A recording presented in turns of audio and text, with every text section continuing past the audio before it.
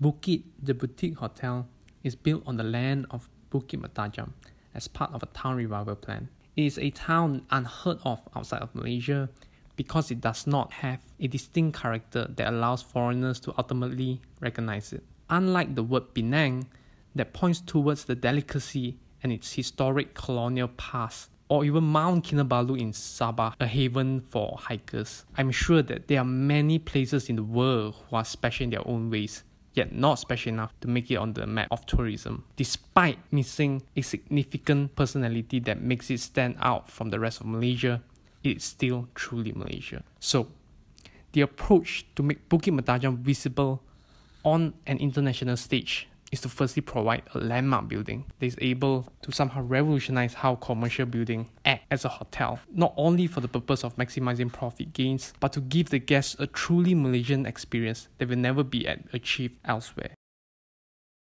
Bukit creates a symbiotic relationship between the locals and the tourists by creating commercial values through providing spaces for locals to get food, carry out recreational activities, as well as to organize traditional festivities on the expense of foreign guests who would find the Malaysian lifestyle as something truly unique.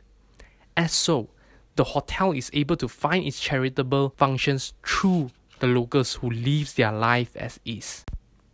Having a ground floor completely open air for all to enjoy, without the boundaries of walls and see-through glass doors conventionally used by hotels, everyone will actually feel welcome to enter the hotel without discrimination of classes and race.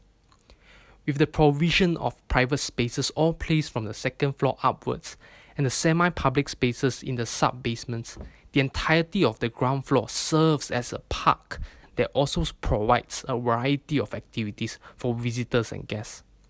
The best street food vendors and local artisans are invited to set up their stores on the green grass fields on the ground floor so that the guests and visitors can feed their tummies and eyes in the fresh open air.